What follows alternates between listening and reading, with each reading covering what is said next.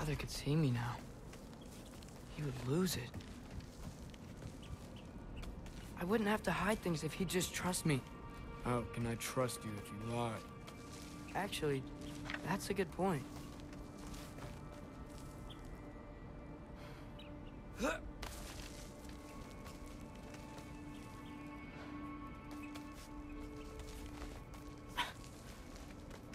Maybe if you listen to me. Could I not say the same? Well, where do you think I learned it from?